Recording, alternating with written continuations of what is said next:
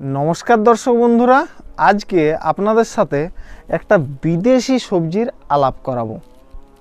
অনেকেই হয়তো একে চেনেন, আবার অনেকের কাছেই হয়তো এটা একেবারেই নতুন। এটাকে আমাদের পৃথিবীর বিভিন্ন প্রান্তে বিভিন্ন নামে ডাকা হয়। যেমন ধরুন, অনেক জায়গায় একে বলা হয় সামার স্কোয়াশ, অনেকে আবার একে বলে থাকেন জুচিনি, অনেকে আবার বলে থাকেন জুকিনি আমি কিন্তু একে মানে আদর করে ডাকি বিদেশি কুমড়ো বলে। আমি এটাকে ছাদ বাগানে সম্পূর্ণ জৈব পদ্ধতিতে চাষ করেছি। কিন্তু আমার মনে হয়েছে যে এটাকে কিন্তু বাণিজ্যিকভাবেও বেশ লাভজনকভাবে চাষ করা যেতে পারে এবং সেটা রাসায়নিকভাবেও করা যেতে পারে, আবার জৈবভাবেও করা যেতে পারে। সেটা নিয়ে ভিডিওর পরবর্তী অংশে বিস্তারিত আলোচনা করব। যারা একেবারে আমার এই চ্যানেলটিতে নতুন, তাদেরকে অনুরোধ করব, দয়া করে চ্যানেলটিকে সাবস্ক্রাইব করুন এবং ভিডিওগুলো সম্পূর্ণ দেখুন আর আপনার মূল্যবান মতামত অবশ্যই আমাদেরকে জানান। এরপরে আসি যে আমরা এই জুকিনি বা আমরা এই বিদেশি কুমড়ো কেন চাষ করব এবং এর বিদেশে এত কদর কিসের সেটাই জানব। এর একটাই কারণ, এর মধ্যে প্রচুর পরিমাণে vitamin C, iron, vitamin B six calcium এবং অল্প পরিমাণে ভিটামিন ডি আছে। এছাড়াও পটাশিয়াম, ম্যাগনেসিয়াম, ফসফরাস এর মধ্যে প্রচুর পরিমাণে পাওয়া যায়। এবং যদি আমরা এই বিদেশি কুমড়ো বা এই যদি ঝুঁকি নিয়ে আমরা নিয়মিত খাই, তাহলে আমাদের শরীরের কি উপকার হবে? এ আমাদের হার্ট সুস্থ সবল রাখে, ব্লাড সুগার নিয়ন্ত্রণ করে চোখের দৃষ্টিশক্তি বাড়াতে বা দৃষ্টিশক্তিকে আরও উন্নত করতে সাহায্য করে এবং আমাদের ওজন মানে শরীরের ওজন কমাতে ব্যাপক পরিমাণে সাহায্য করে। তাই এই সবজির কিন্তু বিদেশে ব্যাপক পরিমাণে কদর রয়েছে। তাহলে এই বিদেশি কুমড়ো বা জুকিনি কোথায় কোথায় চাষ হয়? এটা মূলত বিদেশেই বেশি পরিমাণে চাষ হয়, যেমন ধরুন আপনার ইতালি, কানাডা নিউজিল্যান্ড, মালয়েশিয়া, উত্তর আমেরিকায় এটা প্রচুর পরিমাণে চাষ হয়। বর্তমানে আমাদের ভারতবর্ষ এটা ব্যাপক পরিমাণে চাষ শুরু হয়েছে এবং বাংলাদেশেও কিন্তু এর চাষ শুরু হয়েছে। তাহলে এরপর জানব যে কখন এই জুকিনি বা বিদেশি কুমড়োটা আমরা মানে আর কি চাষ করতে পারি, কোন সময়? মূলত এটা আগস্ট এবং সেপ্টেম্বর মাসে এর বীজটা আমরা মাটিতে ফেলতে পারি চারা করার জন্য। মনে রাখবেন, এটা কিন্তু গ্রীষ্ম আবহাওয়া একেবারেই পছন্দ করে না। বা গ্রীষ্ম আবহাওয়াতে কিন্তু এ খুব একটা ভালো হবে না, সুবিধার হবে না। এমনিতে আমার যেমন ধরুন পুরুলিয়াতে বাড়ি টেম্পারেচার একটু বেশি। তো আমি যেহেতু একটু মানে সামনের দিকে লাগিয়েছিলাম, অল্প রোদেই কিন্তু এর পাতাগুলো একটু একটু ঝুমে যেতে চায়।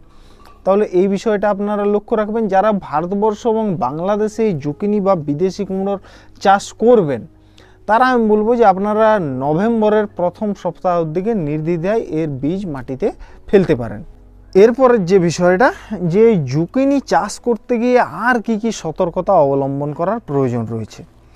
জুকিনি কিন্তু একেবারেই বেশি জল পছন্দ করে না যখন আপনার এই জুকিনি বা বিদেশি কুমড়ো গাছে ফল থাকবে, তখন কিন্তু প্রচুর পরিমাণে জল চায় কারণ এর ফলের মধ্যে প্রচুর জলের প্রয়োজনীয়তা থাকে। তাও এই সময় কিন্তু জলের ব্যবহার আপনাকে বাড়াতে হবে। এরপরে আরেকটা যে সমস্যা লক্ষ্য করা যায় মানে যারা ধরুন রাসায়নিকভাবে এই চাষটা করবেন, এর পাতাতে কিন্তু প্রচুর পরিমাণে পাউডারি মিলডিউর সমস্যা লক্ষ্য করা যায়। তো এই পাউডারি মিলডিউর সমস্যাটা আপনারা আটকাবেন কীভাবে? না, যে কোনো ধরনের সালফার এইট্টি পারসেন্ট ডাব্লিউডিজি গোত্রের ছত্রাকনাশক যেমন ইফকো কোম্পানির সাসাগে অথবা সিনজেন্ডা কোম্পানির থিও নিউট্রি, এটা আপনারা প্রতি লিটার জলে দু গ্রাম হারে স্প্রে করলে এই পাউডারি মিলডিউ সমস্যাটা আটকানো যায়। যদি এটা আপনাদের হাতের কাছে না থাকে, তাহলে আপনারা মাইক্রো বুটানিল গোত্রের যে কোনো ছত্রাকনাশক, যেমন নাগার্জুনা কোম্পানির ইন্ডেক্স প্রতি পনেরো লিটার জলে বারো গ্রাম হারে মিশিয়ে স্প্রে করলে এই সমস্যাটা খুব সুন্দরভাবে আটকানো যায়।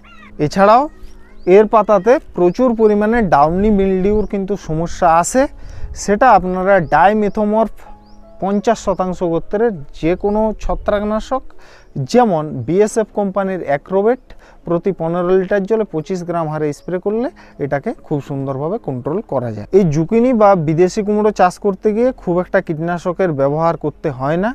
যেমন ধরুন, আমি শুধুমাত্র নিম তেল স্প্রে করেছি, যেহেতু আমি এটা জৈবভাবে চাষ করেছি এবং নিম তেল স্প্রে করে আমি সেরকম সমস্যার সম্মুখীন এখনও পর্যন্ত হয়নি। যেহেতু এটা কুমড়ো জাতীয় ফসল এবং এর মধ্যে এই দেখুন, ছোট ছোট প্রচুর পরিমাণে ফল আসছে, সেক্ষেত্রে আপনারা যখন জমিতে বিস্তীর্ণ এলাকায় চাষ করবেন, তখন কিন্তু এর ফল ছিদ্রকারী মাছির আক্রমণ এর মধ্যে লক্ষ্য করা যেতে পারে। সেই জন্য আপনারা ফিপ্রোনিল চার শতাংশ এবং ইমিডাক্লোরোপিড চার শতাংশ গোত্রের যে কোনো কীটনাশক, যেমন আদামা কোম্পানির পার ভিজ প্রতি লিটার জলে এক এম হারে স্প্রে করবেন এই সমস্যাটা কেটে যাবে। যারা জৈবভাবে চাষ করবেন, তারা ফেরোমেন ফাঁদ ব্যবহার করতে পারেন। এছাড়াও যে সমস্ত ফ্রুট কভারগুলো বাজারে পাওয়া যায়, সেই ফ্রুট কভার ব্যবহার করেও কিন্তু আপনি ফল ছিদ্রকারী মাছির হাত থেকে এই বিদেশি কুমড়োর মানে যে আর কি ছোট ছোট ফল, তাকে রক্ষা করতে পারবেন।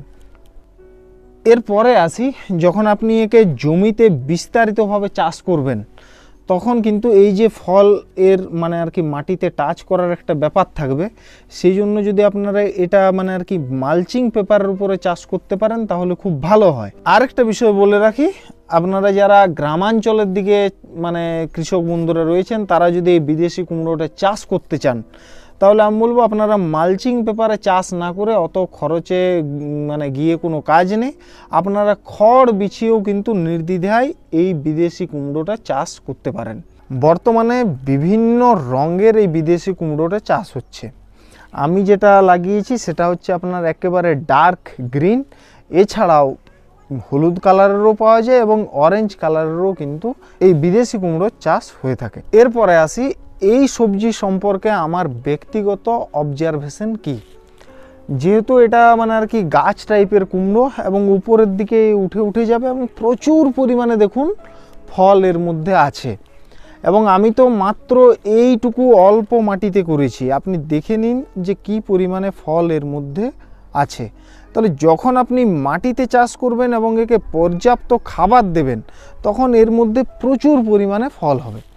এবং ফলগুলো আপনারা দেখতে পাচ্ছেন, ফলগুলো আপনারা অনায়াসেই কিন্তু পাঁচশো থেকে ছশো গ্রাম পর্যন্ত ওজন হবে। একটা সরু টাইপের একটু পাওয়া যায়, সেটা না হয় দুশো থেকে আড়াইশো গ্রামের ওজনের হতে পারে।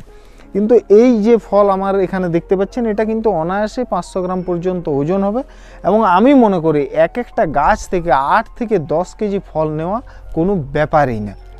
বিশেষ করে যখন আপনি শপিং মলে এই বিদেশি কুমড়ো বা জুচিনিকে যখন আপনি কিনতে যাবেন, তখন দেখবেন এ কিন্তু পঞ্চাশ, ষাট, একশো টাকা, দেড়শো টাকা পর্যন্ত কেজি বিক্রি হয়। তো আমি যদি একটা মিনিমাম আর কি ধরে নিই, পঞ্চাশ টাকা কেজি যদি ধরে নিই, তাহলেও এই গাছ থেকে কিন্তু অনায়াসে আট থেকে দশ কেজি ফল পাওয়া সম্ভব। তাহলে এক একটা গাছ থেকে চার, পাঁচশো টাকা কিন্তু রোজগার করা সম্ভব। এরপর আমি ধরে নিচ্ছি, এর থেকে আমি আরও কম করলাম, দুশো টাকা আমি কমিয়ে দিলাম, তিনশো টাকা কমিয়ে দিলাম, আমি সর্বনিম্ন দুশো টাকা আমি ধরে নিলাম।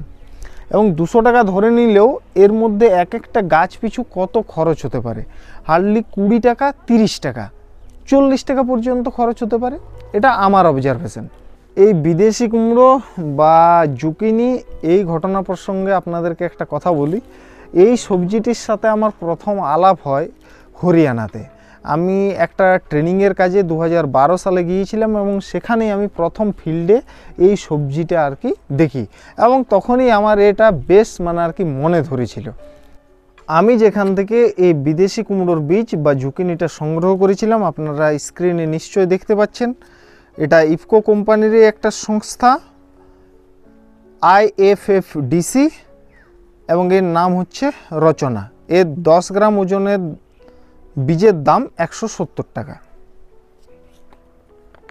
এই বিদেশি কুমড়ো চাষ প্রসঙ্গে আমি একটা কথা বলে থাকি। আমি গত বছর একজন চাষিকে আড়াইশো গাছ ব্রোকলির ব্রোকলির আড়াইশো গাছ আমি চাষ করিয়েছিলাম। সম্পূর্ণ নিজের উদ্যোগে এবং বীজ সারের ব্যবস্থা করেছিলাম। এরপর দেখা গেল সেই চাষি যখন আমাদের মানে বাজারে গিয়েছিলেন বিক্রি করার জন্য, তখন কিন্তু মানে সে সবজির আড়ত আমাদের যে নর্মাল ফুলকপি, তার থেকেও কিন্তু তাকে কম দামে সেই ব্রোকলিগুলো বিক্রি করতে হয়েছে। তার একটাই কারণ, এখানে চাহিদাটা নেই।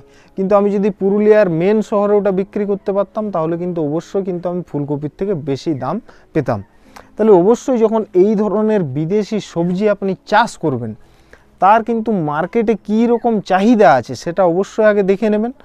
প্রথমে যদি আপনাকে চাষ করতেই হয় বা আপনি আগ্রহী হন অল্প সংখ্যায়, অল্প পরিমাণে চাষ করে আগে দেখে নিন, মার্কেটের অবস্থাটা একটু দেখে নিন যে কীরকম অবস্থা আছে, তারপরেই আপনি কিন্তু এটা বেশি সংখ্যায় চাষ করবেন। আরেকটা এক্ষেত্রে ভালো অপশান হতে পারে। এখন আপনারা মোটামুটি যে সমস্ত মেন টাউনের দেখবেন শপিং মলগুলো রয়েছে, সেখানে কিন্তু বিদেশি সবজি বেশ ভালো রকম বিক্রি হয়। আপনি সেই শপিং মলের সাথে ডাইরেক্ট কিন্তু যোগাযোগ করতে পারেন, এই ধরনের বিদেশি সবজি বিক্রি করার ক্ষেত্রে। এটা চাষ করতে গিয়ে আপনাকে কোন কোন দিকে বাড়তি নজর দিতে হবে আমি সেগুলো সবই বললাম। আর মানে সার প্রয়োগ এই সময়ে বিশেষ ঝামেলা নেই, কারণ আপনারা যেরকমভাবে কুমড়োটা চাষ করেন, সেই রকমভাবেই চাষটা করবেন, কোনো সমস্যা হবে না।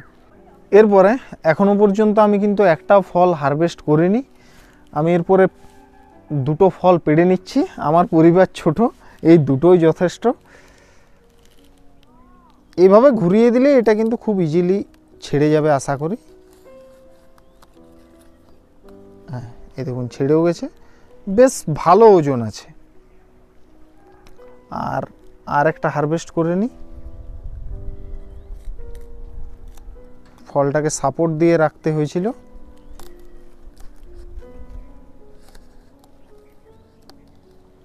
আমি তো ভেবেছি এটা বাড়িতে কুমড়োর মতোই কিন্তু রান্না করাবো। কিন্তু বিদেশে এটা ফল হিসেবেও কিন্তু খাওয়া হয়। ফল এবং সবজি দুটো হিসেবেই কিন্তু এর ব্যবহার রয়েছে। বিদেশে এর প্রচুর পরিমাণে কিন্তু স্লাড স্লাড হিসেবে কিন্তু একে ব্যবহার করা হয়। এগুলো রান্না করার পরে এর টেস্ট কীরকম হচ্ছে সেটাও কিন্তু আমি আপনাদেরকে কমেন্টে জানিয়ে দেবো। এর ফলটা কিন্তু আমি দেখছি গাছ বার হওয়ার এক মাসের মধ্যেই কিন্তু আপনি হারভেস্ট করতে পারবেন। মানে ওই খুব বেশি হলে পঁয়ত্রিশ, ছত্রিশ দিনের মধ্যেই আপনি কিন্তু হারভেস্ট করতে পারবেন। তাহলে আপনার খুব একটা বেশি সময় ব্যয় করার প্রয়োজন নেই।